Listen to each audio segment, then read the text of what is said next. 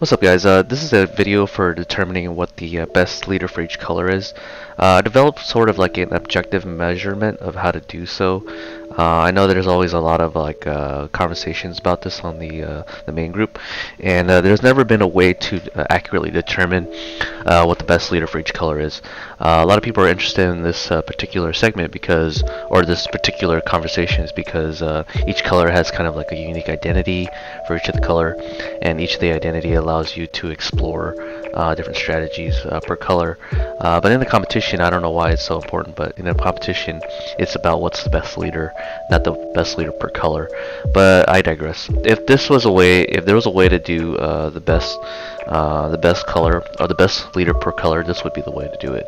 Um, so uh, using a power level scouter is probably not going to be invented anytime soon. So we have to use uh, other ways such as a point system. And a point system is how I'm going to introduce this. So one big criteria I don't use uh, to assess whether a leader is good, and this is a big one, and a lot of people do this, is uh, I don't use events. Uh, events is a good, fast way to determine what a good leader is per color. Uh, however, there's so many things that can go wrong with using that uh, measurement, and I know uh, this is probably going to be a shocker to you guys, but um, if uh, if a deck top before, um, that means that uh, people know about it, and if people know about it, people can play test against it and side deck against it and play differently against it. that's kind of the general idea here, and so I never use these as a measurement to determine what uh, a leader, how if a leader is good per, for its color. Uh, another one is that it, could be very highly represented. So uh, an example I like to use is if uh, you're drawing straws, right? And uh, the straws is comprised of yes and no's, right? But the let's say you are drawing straws out of the out of the the pool of straws you can get out of, and like ten of them 10 out of the 12 are like yeses and then 2 out of the uh, 2 out of the uh, 12 are no's. If you draw straws and you have more straws in the pool, you're you're more likely to have uh, you're more likely to pull a yes out of the uh, the straw the the band of straws. So that's why I don't use uh, topping an event as a measurement because uh, theoretically you can have 12 let's say Gogetas right and you have sorry you can have 10 Gogetas in a pool and two uh, non-decks if uh, if a Gogeta tops uh, a top 8 uh, so let's say for that specific event uh, that uh, deck tops right? Let's say Gogeta tops. Would it be would it be a, a merit for that particular deck to to win that event? Despite having uh, 10 of them in the top tables? No, it wouldn't be, right? Uh, it's very intuitive to see it that way because you can see that the the numbers uh, basically support a probabilistic cause where uh, the Gogeta deck would uh, to basically top in that event. So I don't use that. Uh, that's why I don't use topping an event as a, a serious way to consider if the deck's good or not. and another one is that if a deck top and it was a rogue deck, right? A rogue deck is typically classified as a deck where a lot of people don't know about it, that strategy and how it works, right?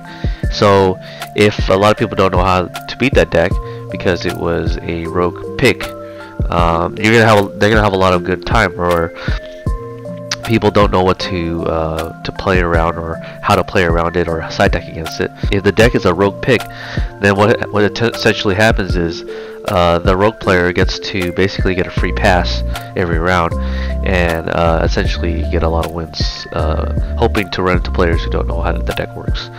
But once the deck tops, right, then people know about it, and then we go into the situation where people know how to play against it, and then that deck won't probably top again. Uh, that's why I don't believe that uh, if a rogue deck tops, it's considered a good color, a good leader for that color. Uh, and then another one is that uh, let's say you're playing a specific deck and it lo hard loses to a certain matchup, right? Let's say you're playing against a you're playing a blue deck and you get uh, you don't get matched up against any hand destruction deck, right? All the way through. Well, technically, you could theoretically dodge all your bad matchups and have all your good matchups, right? And so I would never use an event to justify whether a deck is good because uh, if a deck is good because it dodges all its bad matchups, can you say that deck is good? Right. That's why I don't use topping an event as a way of doing it. Uh, and then uh, we run into this uh, fallacy that I created. Uh, fallacy is just a, basically a fancy way of saying that uh, it fails to demonstrate. So, like if you're making a claim that a deck is good because it did did well in an event, well, you're creating sort of a fallacy where you're failing to demonstrate why it's good, right?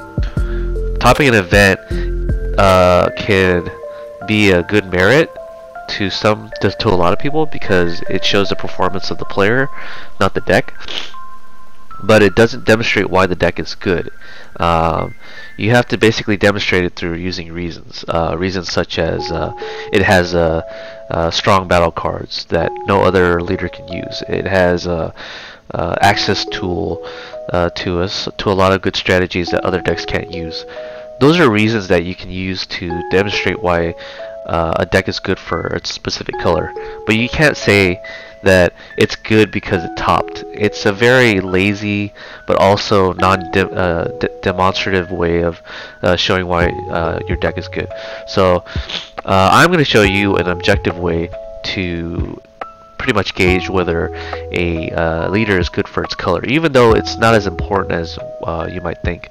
Uh, when you're doing competitions to determine what a good, uh, the best leader for each color is, uh, it's best not to use uh, topping events as a way to demonstrate it. It's better to use reasons. Um, so anyways, let's go on. So the objective way that I use are criterias and that you should use too is uh, are these are these specific reasons.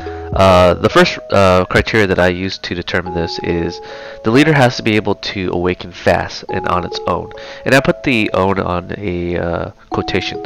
And the reason why I do this is because not every leader uh, has an alternative awakening condition that is uh, that is going to happen without its battle cards. Uh, and a good example of these is Trunks and uh, Sun and the Gogeta leader on the front side. Uh, they both have the ability to self-awaken itself if the conditions are met, and those conditions are pretty generally easy to do, right? Uh, for Trunks, it just you just have to have uh, two or more energy, and you just have to have a Vegeta, uh, a yellow Vegeta in the battle area. And all you have to do is slip that Vegeta underneath that leader, and then spam, you're awakened. Right? If you're playing uh, a lot of Vegetas in your deck, uh, and you also have cards that fetch Vegeta from the deck, such as Trunks, right, uh, and Bulma, uh, you can have a lot of ways to self-awaken.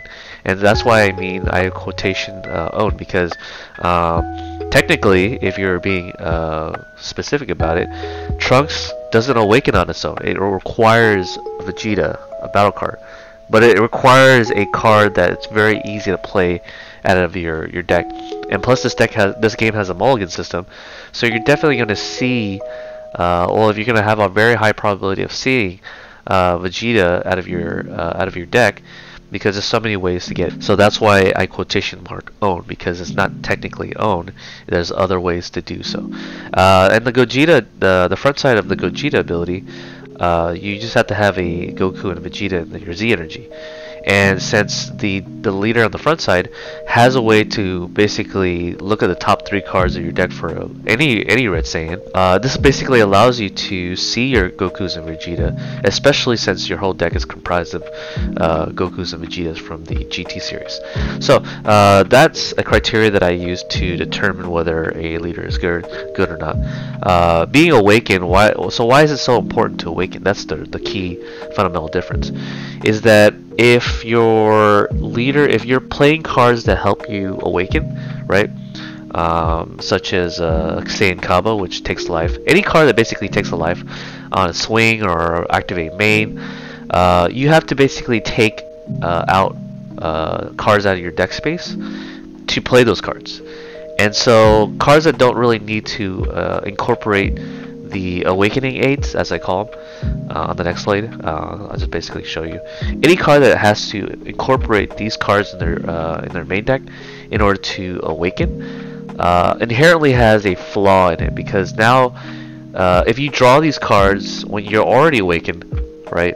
And that's not including the uh, the the Vegeta here on the right side here.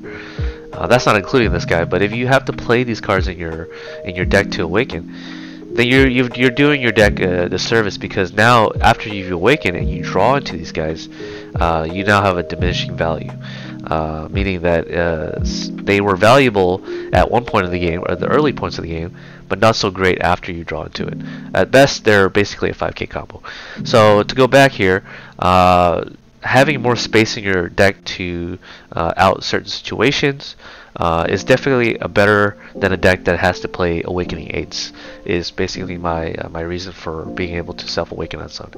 Uh, the other one is being able to have a higher stat uh, at an earlier game, right? Theoretically, you can think of the of, of it this way: if your leader is already on the backside, at the beginning of the game, let's say uh, at the beginning of the game, your leader is already on the backside would that be more preferable than having a leader that is on the front side it has to find a way to self-awaken to get to a higher base stat right? That's that's the thought experiment i'm going to propose here. And obviously the, the the answer to that is obviously most people are going to prefer the leader to be already awakened on the front side already right? So that means you having a higher base stat is technically the reason why you want to be awakened. That means that uh, you have to combo less on defense if your opponent's attacking you for 10. If you're uh, if they're attacking you with battle cards that are 10k like uh, Storm used to do, right? You want to be on the backside so you can preserve your hand size uh, so they don't combo so high, right? Or if uh, if you're attacking with your 15k leader, your opponent is most likely going to take it if it, they're still on the front side, right? Because 15k you have to combo out two cards out of your hand that are 5ks just to get out of it. So uh, definitely a, a, plus to be able to awaken on your front side uh, as quickly as possible. Now that doesn't really apply to every situation, right? Because uh, sometimes on the back side, the stats are the same as the front side, right? Or uh, or if the leader's ability is better on the front side in terms of being able to generate advantage uh, rather than the backside. Uh, and a good example of this is all the surge leaders. All the surge leaders on the backside, uh, all the generational advantages uh, are very much uh, temporary. So uh, it just really you just have to you just have to be able to how do I say this? Take it case by case. this is not always a the rule, but it's definitely a good rule of thumb. So uh, just take that with a grain of salt. Uh, and then the other one is being able to access backside abilities.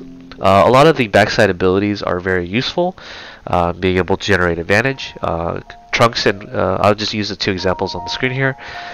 Trunks here uh, on the backside uh, can generate a lot of advantages because it revives a one drop from the drop area on a swing and the, the one drop isn't having the skills negated it generates an advantage on its own. So being able to generate a plus one on swinging uh, another plus one by playing a battle card on rest mode of course that generates you an advantage and also generating a uh, also generating a card draw on the EX Evolve is another one, right? So access to the backside ability uh, that is very, very, uh, how do I say this, generates a ton of advantage is typically why I consider uh, this a big criteria in uh, being able to awaken fast because the backside abilities are often more, way more powerful than the frontside abilities.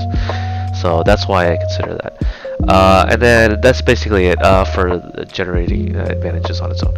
Uh, being able to awaken fast. Uh, so let's go on to the next one. Uh, the next one is can your deck draw random cards or search specific side deck cards? Right, so I don't think there's a specific leader currently that can search for specific side deck cards. I know if you're playing like the Goten uh, from the draft box series that searches for any of the yellow extra cards, then yeah, it has the ability to do so. Uh, that that's a specific leader, uh, but most of the time, most leaders can't search for specific side deck cards that are impactful in the in the mirror matches or any any certain matchups. But is your deck able to draw a lot of cards uh, even though it's not generating you a net advantage. And so I'm going to use the Trunks Gita uh, example in the Gogeta matchups. Uh, so the Trunks Cheetah allows you to draw pretty much uh, a lot of cards out of your deck, right? And since you're playing a yellow deck, sometimes you want to have access to uh, Vegeta's Final Flash, Release from Evil, uh, Token Negates, Boss Monsters, you name it, right? And being able to draw random cards for every situation is very vital to the deck strategy because if you're siding if you're siding cards such as Release from Evil uh, against matchups that basically lose to Release from Evil, such as uh, the Gamma, the Gamma matchup where they swing with the leader. If you activate Release from Evil from the on that swing, right, and they tapped out, they suddenly can't have the ability to uh, quote unquote restand the energy because your leader was able to generate a lot of advantages uh, being able to see release from evil. And so your side deck doesn't have to side deck so many of the copies of Release from Evil in your 15 cards, and you'll also be able to draw them more more likely if you uh, are able to draw uh, cards from your from your deck from EX evolving and attacking and uh, playing Vegeta or Trunks from the, the drop area to draw cards. Uh, the same way with Gogeta as well. That's why you see these decks consistently top. And I'm not using that as an indicator of uh, why the deck is good. I'm just basically saying uh, the results speak for themselves uh, in terms of uh, why the leader is good. It's because they're able to draw a lot into to their sideboard as well. So uh, this means that uh, you basically um, mean that you use a lot less space for your side deck and you can side deck a lot less cards so you don't have to take out cards of your deck so much. And also being able to draw into all your good cards just to reiterate. So that is the criteria that I use is if your deck can draw random cards and uh, a lot of it so that you can fix your hand for every situation. Um, so another uh, uh, this, this, this is still within the same criteria by the way. So a lot of the uh, abilities to hand fix uh, without generating an advantage is discarding cards and or destroying cards out of your your board in order to generate you two new cards out of your deck right? That doesn't necessarily mean that you're getting a net positive right? So if you're discarding a card and you're drawing two your net positive being one but you're able to see two cards more out of your deck right? So this is basically hand fixing in its in its uh, in essence because uh, you're drawing two other cards which means two other cards you get uh, that are able to deal with a specific situation potentially right? You're increasing your sample size for all your statistics major uh, to be able to see the cards that you need for a specific situation even though you're not getting a net advantage. Uh, like Frieza, Gold Frieza on the left side here, you have to give up a, uh, a one drop out of your uh, your board to draw the extra card, right? Your leader swings and you draw an extra card, right? And also your the one drops that you play, uh, you're gener you're be able to uh, draw a card on top of that, right?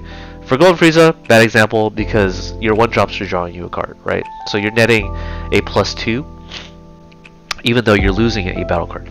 Uh, but for other scenarios such as the the quote-unquote Helku, uh, you're discarding a uh, you're you're putting a card on top of the deck after you draw two, right? So this means that uh, you're drawing two new cards, but you're putting you're losing one card in your hand, so you're only netting plus one, right?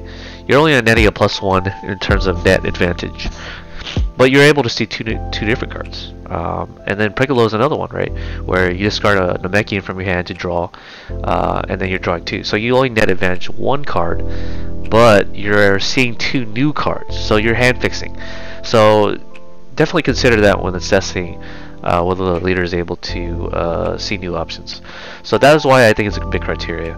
Um, here's another one, right? Uh, your leader is able to search out or play certain your your deck's key strategies, right? So I'll give an example on the right side here. Your Vegeta leader or your Vegeta and Goku leader is able to play the Spirit Bomb out of your deck. uh, that's pretty good, right? So uh, being able to play a key part of your deck strategy uh, just by simply being awakened is a, a, vital part of consistency. Now, granted, your leader, uh, your Spirit Bomb might be in your, your life and you can't see it out.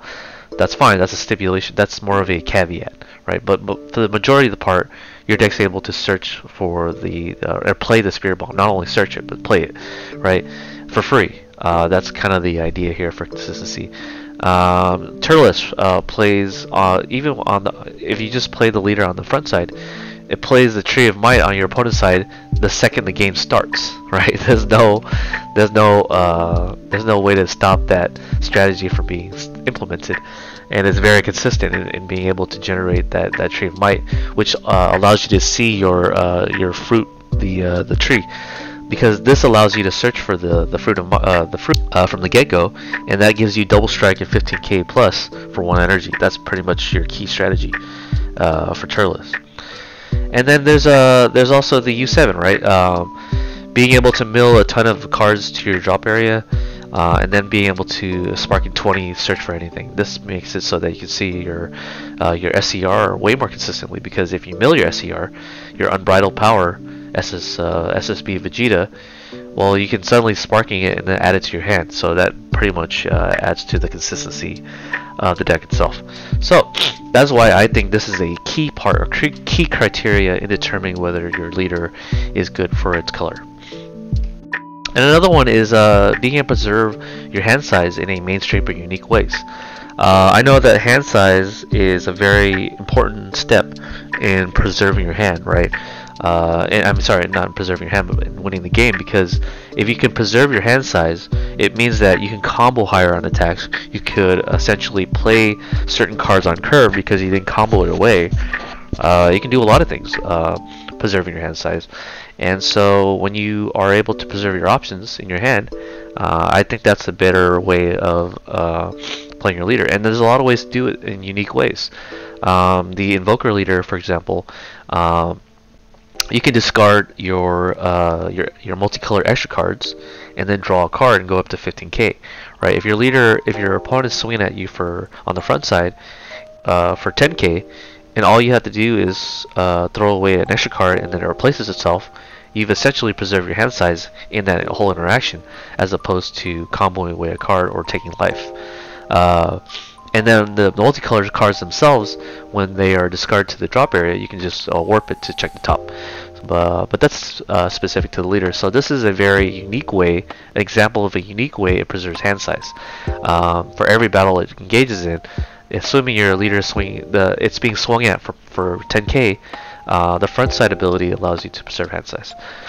Uh, Beerus, for example, is another popular way to uh, preserve hand size and, the, on backside it's able to combo from the drop area uh, 10k once per battle and instead of wasting cards out of your hand to combo out of the attack you can actually just uh, combo for free a 10k multicolor uh, red red yellow card and be able to preserve your hand size that way.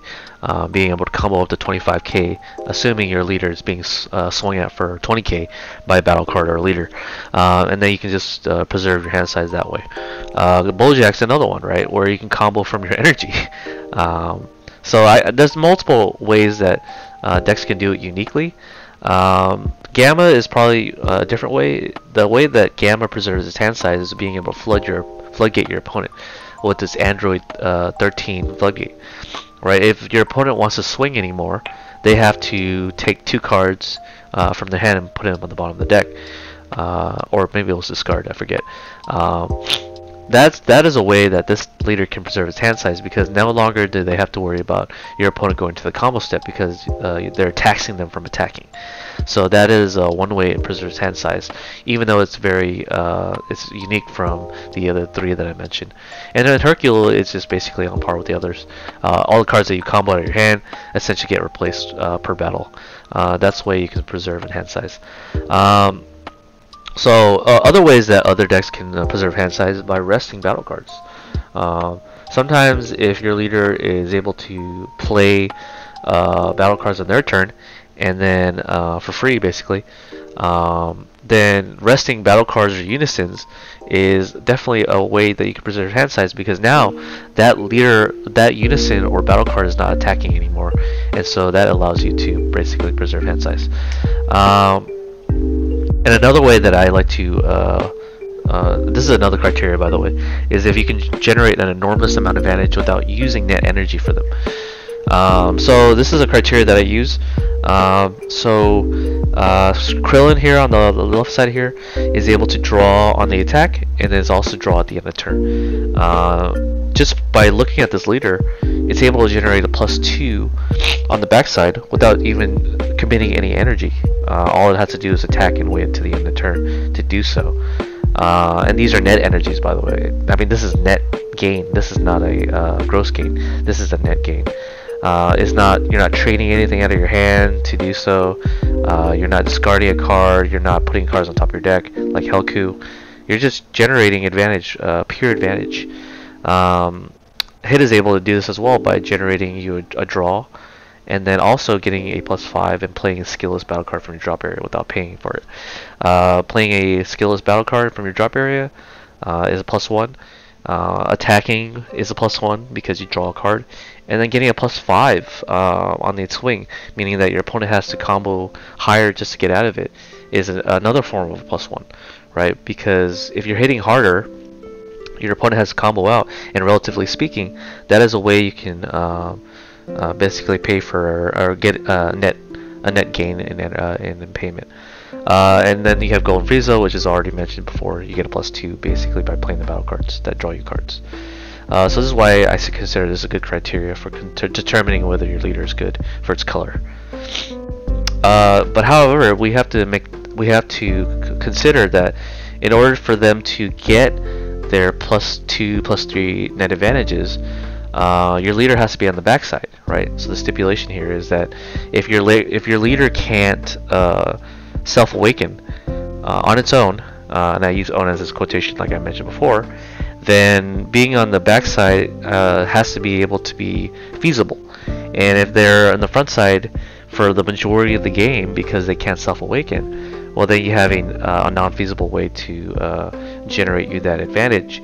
And so uh, earlier I mentioned that hit was a way that you could um, have a criteria for satisfying this criteria but the stipulation is since it can't awaken on its own, you can't you have to exclude hit from this equation, even though it's able to generate an enormous amount of advantage on the backside. Since it can't self-awaken on its own, uh, it creates a, a, inherent flaw. So I would exclude uh, hit from this uh, from this criteria. Uh, and then here's a bigger one. Uh, here's a big category is that uh, your leader is able to access its unique battle cards. Um, being able to access its own battle card stands out above the other leaders of its own color. Um, and that not only being able to access those battle cards, but accessing its skill costs easily or only uniquely. Um, so for Gogeta here, uh, being able to restand your Rush Warrior attack is generally reserved for leaders that are able to combo a lot uh, of cards out of its uh, basically uh, generate a lot of Z energy. Because the Rush Warrior attack, you have to pay 2 Z energies to be able to play them. And if you have four other Z energies uh, in your uh, in your Z energy, it can restand itself and get double strike. And generally, this particular leader is able to do that very easily, while other red leaders cannot. Um, so that's a prime example of why uh, it's able to access its other abilities. Um, whereas other red leaders cannot do that. Um, and then for Gotenks, uh, this particular Grim Reaper is only reserved for the, the Gotenks leader because you can't play this Grim Reaper in any other Green leader um, because it has its really it has a really good ability uh, to be able to uh, draw two and pop card and uh, basically float into its uh, uh, basically float into the Goten and the youth, the Trunks youth from the drop area.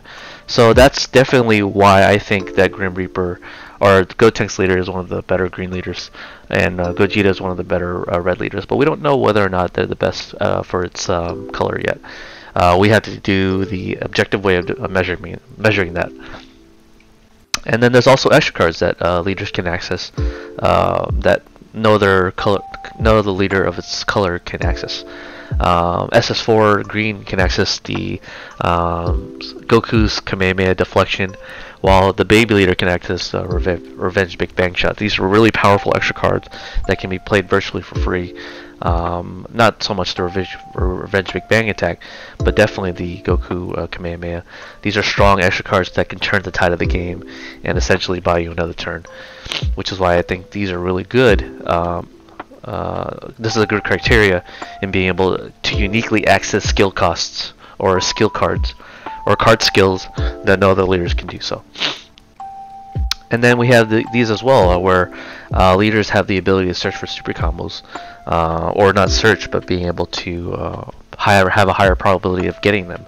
Um, the the Goku here can use this Sparking 20 to get the Frieza Super Combo. The uh, the yellow Vegito is able to play the Kibito Kai to search for the Krillin Super Combo, and the Gamma if it flips um, this randomly from the top of the deck into the energy. At the end of turn, you can add these back to your um, you can add this from your energy back to your hand and that's kind of a, a good way of uh, looking at it. They have a ease of access um, in being able to do so. Uh, another way you want to so uh, you have to want to be careful here. Even though your uh, your specific leader that's rogue has uh, access to uh, specific battle cards that no other leader can, it doesn't necessarily mean it's better than the generic support. Um, so here we have an example here where the future Trunks has access to this particular uh, battle card that can be paid for 2 energy um, because it has a cost reduction. Is this, so you have to ask yourself, is this better than the generic support uh, for its color, right? All blue leaders have access to uh, Piccolo the Infiltrator. Now, is your unique uh, battle cards better than uh, Piccolo the Infiltrator? And uh, the answer to that is obviously pretty intuitive, is that it is not better because uh, this has dual attack and can get generate you a plus one through the pan and another plus one by drawing it, and also have the ability to give barrier. Um, and so for this situation, uh, for most situations, Piccolo is obviously the better choice for generic support. And so, it, can you say your your leader is a better blue leader if your if your particular battle cards that you play are not better than generic support? And that, to that, you can you have to say that it's not better because even though you have unique access, the unique access to the uh, battle card isn't better than generic support. In short, uh, here we have another situation where it's not uh, it's better uh, it's better than the Rushwing Warrior, right? Uh, granted, you do have to wait until you have three energies to play this guy, whereas uh, you can play v Warrior Vegeta for only uh, for only two energy on turn two.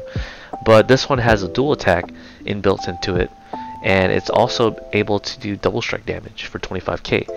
Uh, so in this case, your unique battle card for the Android 13 deck is kind of better than the Rushwing Warrior deck because also you can minus 25k to a battle card when it swings. Um, it also has deflect, well, but that the other one has deflect as well. But it also has double strike um, on on swings, so on both swings. Uh, whereas this one only has a double strike on uh, one swing, which is the activate main ability. So uh, you can definitively say that this battle card is better than uh, that it's uniquely accessible to the Android 13 leader is better than the Rush Warrior attack. Um, and it's this is a generic support. Um, and then we have cards like uh, Capriciousness, which is basically the same as uh, Dorm Potential Unleashed. Um, I mean, it's not the same, but it's uh, equal, right? Uh, being able to negate uh, the attack, but only allowing your opponent to attack twice is kind of the same as uh, allowing your opponent to attack twice with Dorm Potential because it doesn't negate the attack. And then you both have to pitch one card from both of them. So and then you're also both able to play them for free. So in this particular situation uh, it's basically equal in terms of uh, generic support. So you can't say that it's better in terms of using this criteria uh, back here. Is is is your leader uniquely able to access it? And also is your unique access to those cards uh, better than the generic support? And if it's equal it's not better so you can't give this as a criteria. So that is why you have to use these as a criteria and I think that's a, a good way of doing it. Uh, I know it was very long-winded but this uh, we're not even done yet. So uh, the other way that your leader has to be able to uniquely access it is is is it cheap to do so right we can talk about uh, all these cards uh, being able to uniquely access them, but is it cheap to play them, right? Uh, here we have an example of Majin Buu here, who's able to freely play uh, the, the 4-drop Majin Buu from your hand, right, without paying its energy cost. This is a huge uh, swing for in tempo uh, for this particular leader, leaders because you can uniquely do it, but also you can also do it affordably.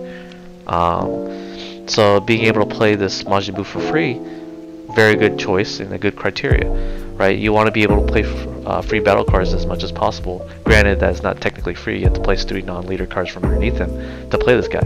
Fine. Uh, Syn Shenron, you had, you had to banish six Dragon Balls from your uh, from your your drop area. That's really easy to do. Um, so you can play such things as uh, Unfeeling Retribution, uh, literally for no energy. So that's definitely a plus for uh, being able to do it. So is your is your leader able to play them for free or for cheap? Is the criteria that I like to use uh, for determining whether your leader is good. And then the other one is is it easy to access those cards, right? If your leader, if your if your battle cards that you're playing uh, has a hard time coming to your hand because you play such a limited copy to it, right? That's a low probability. Um, and a, an example I like to use is the OG cell chain. Uh, the OG cell chain, you have to draw a one of in order to to go through go up the cell chain, and since it has a low probability of uh, achieving it because such there's only one one of copying your deck, can you say that the even though you have a unique access to it, can you say that uh, it's good if you can't even draw it, or if you have a low probability of drawing it, and you can say that's no. Uh, the access is too conditional, right? So I've used uh, these uh, as an example, even though it seems good on paper. In order to even play these guys from your hand for free, they have to be Z awakened. And so a lot of these decks, uh, you have to wait at 3 or less life to do so. Uh, for Omega Shenron, you have to also be at 3 or less life, right? Is your leader able to get to the Z leader easily? And if the answer to that is no, then you can't say that you can play your your battle cards for essentially free when it has to be a specific condition or even an energy total, right? So being too conditional is definitely something you have to consider whether uh, you want to give points for ease of access. Um, and then the last one is whether or not your access can be easily stopped or not. If it doesn't have deflect, right? So like, let's say uh, these cards don't have deflect in it, right?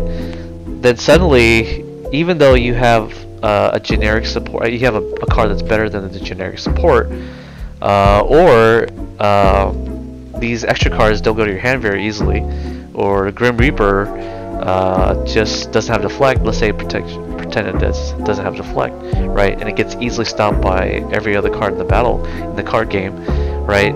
Such as a Tyrannical Blow, Charismatic Villain, Dirty Burst.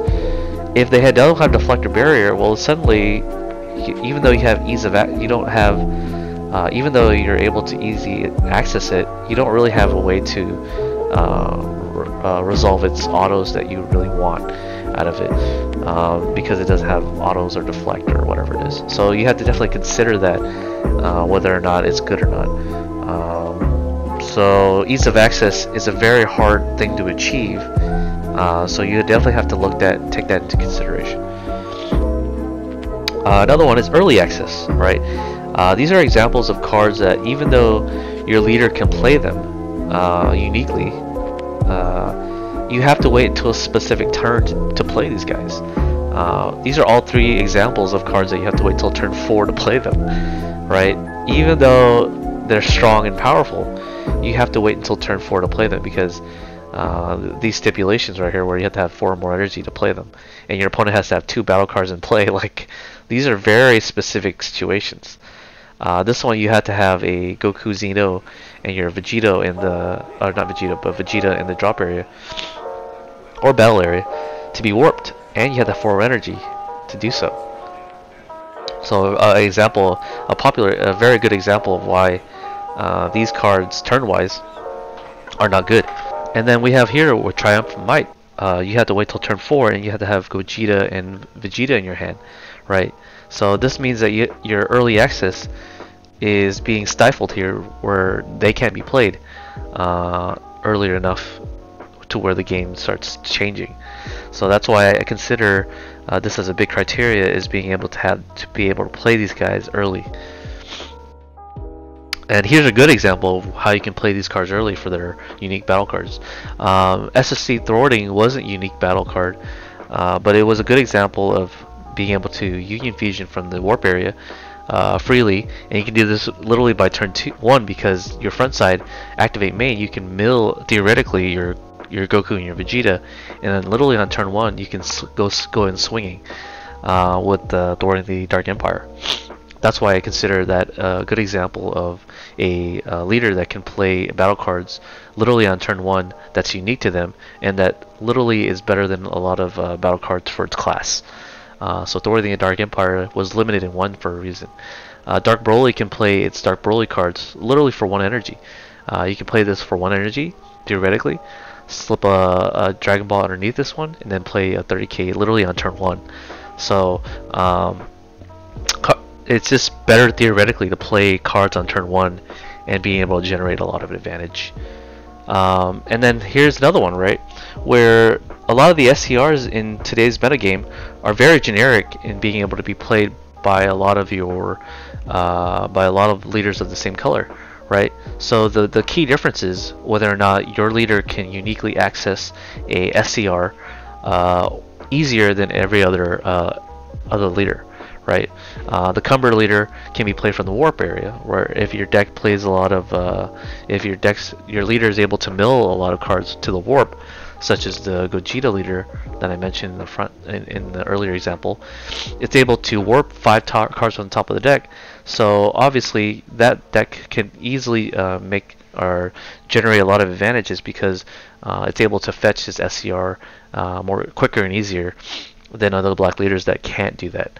Um, and then this one right here, uh, your Android 21, the new Android 21, is able to play uh, this for literally uh, on turn two if your if your opponent has a lot of uh, energies that they can steal um, on the front side or on the back side.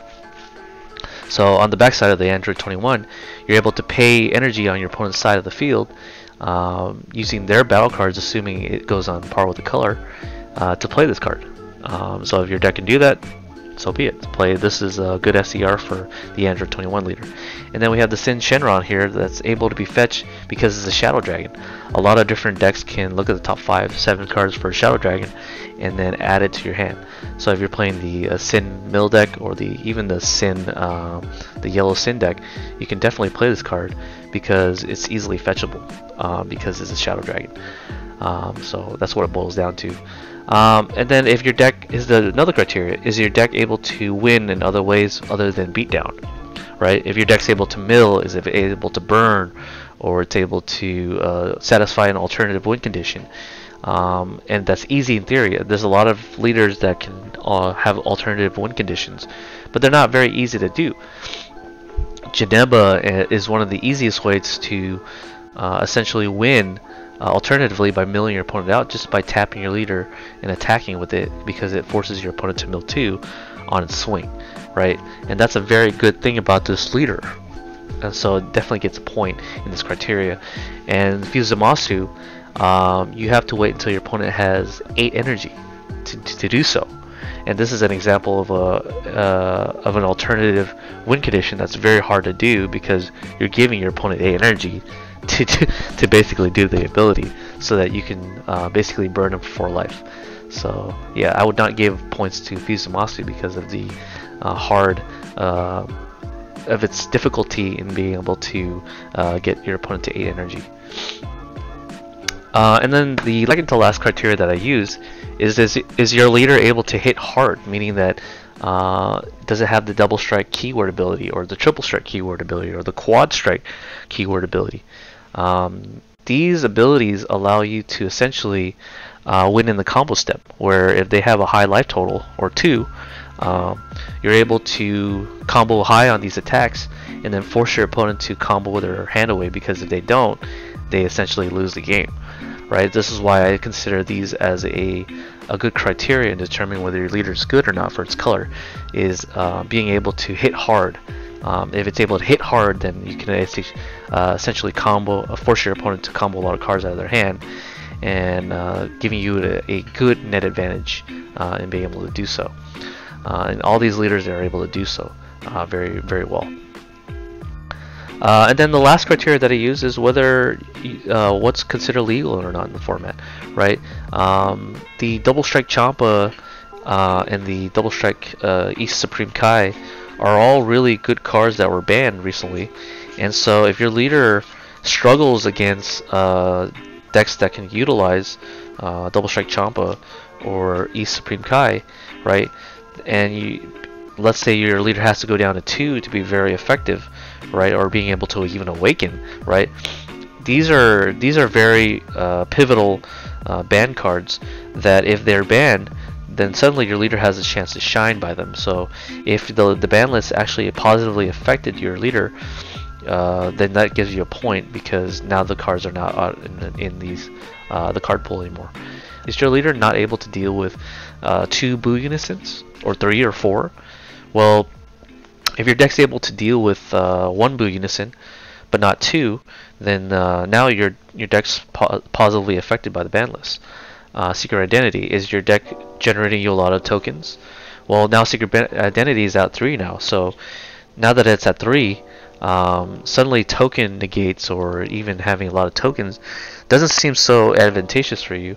Uh, so this is would be an example of uh, the ban list negatively affecting your deck because now uh, now that Secret Identity is at 3 uh, and you're playing a token deck, well now you don't get that point for that criteria.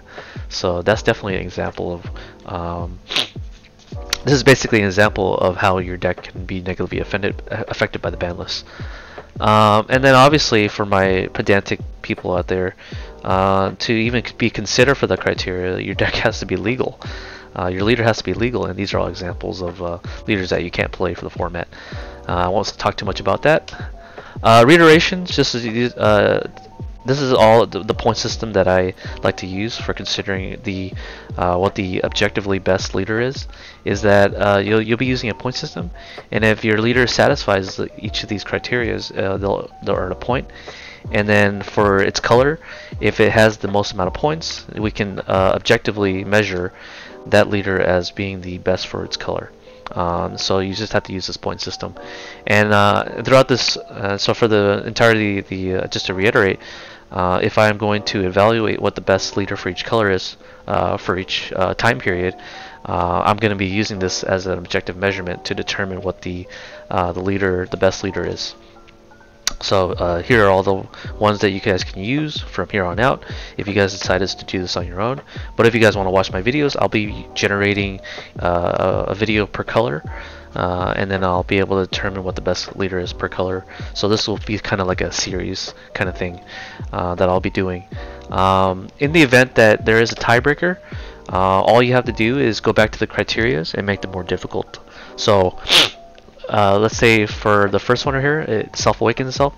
Uh, if the leader is tied for um, being able to self-awaken, uh, I'm sorry, if the if two leaders are tied for first place, and um, and one of the leaders easier to awaken than the other, then the, definitively we can stop there and say that uh, that leader is better than the other leader, and that would be the first place. Uh, that would be first place in terms of best best leader for that color.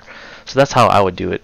Um, if it if they're the same in terms of evenness, you just go to the second criteria, and then the second criteria was can it draw random cards, and if that leader can draw more cards uh, easier than the other leader, or more cards in general, in terms of net advantage or just uh, whatever, um, then you can use you can definitively say that leader is better than the other one, in case they're tied.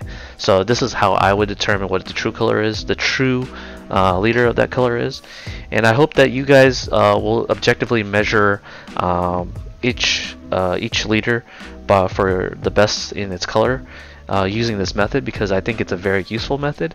I think it's a very objective measurement that we don't have to rely on hearsay or experience. Uh, we can just uh, use this on a uh, basically a non-experienced way of doing it. We can just use theory to, to apply uh, to the situation and determine what the best leader for that color is. So yeah, I think I've rambled long enough. This is my way of determining what the best leader for each color is. And thanks for watching, and I hope to see you guys from you more soon. Peace.